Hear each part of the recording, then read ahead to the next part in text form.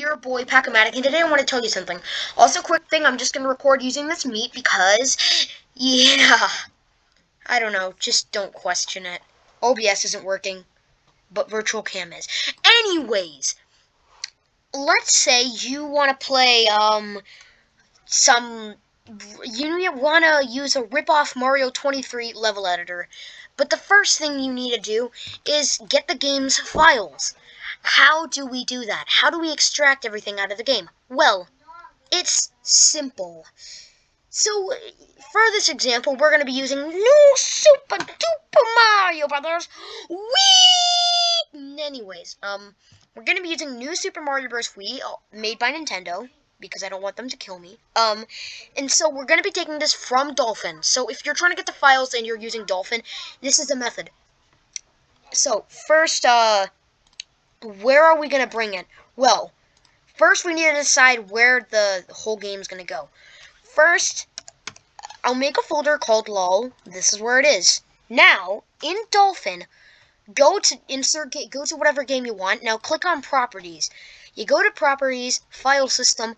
Now see all this? What are these and what are these? Well, they're the files. Now, all you gotta do is right click on whatever folder you need, whether it be sound, stage, US, world map, partition 0, uh, like these are the disk's partitions, or even literally the entire disk. We're to do it here. Anyways, what you can do is uh you can extract it, right? So you right click the thing, or on trackpads you use two fingers, click them at once. I think that's how you do it for most.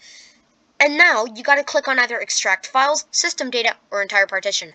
Uh, if you're using disk, then you just extract entire disk. If you're using partition, it's going to be entire partition or files. If it's going to be a single folder, you know, there's only one choice. What do you expect? Anyways, we're going to be extracting the, uh, not extracting, extracting the entire disk into that lol folder. Now we're going to extract.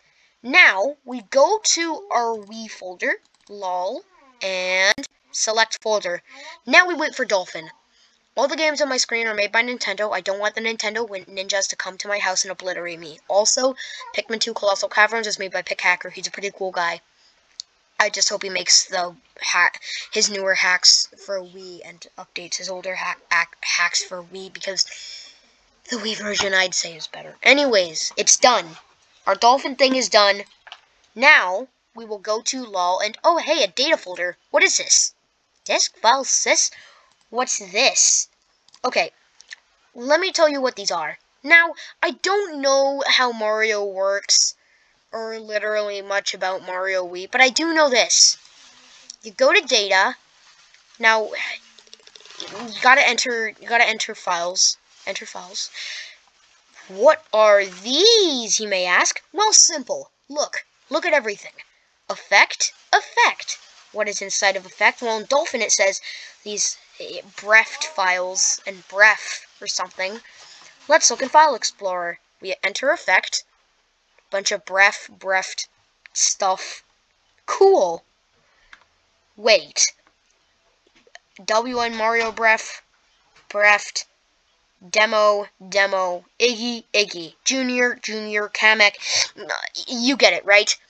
As you can see, these files that are being displayed in File Explorer are the same files that Dolphin's showing us.